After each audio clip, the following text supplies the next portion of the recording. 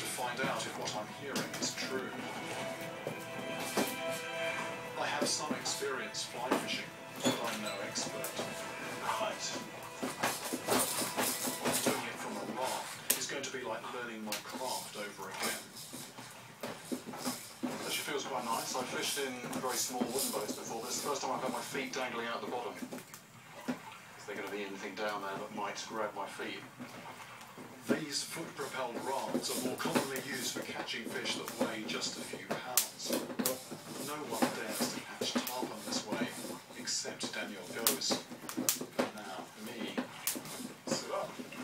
You just have a light, light preserver vest on, wouldn't you? So Roll. wrong, isn't it? Oh, yeah. But before I can give it a go, I have to perfect the basics. Try that again. Just a few days, I'm going to try to master what Daniel has spent 10 years perfecting. Ah!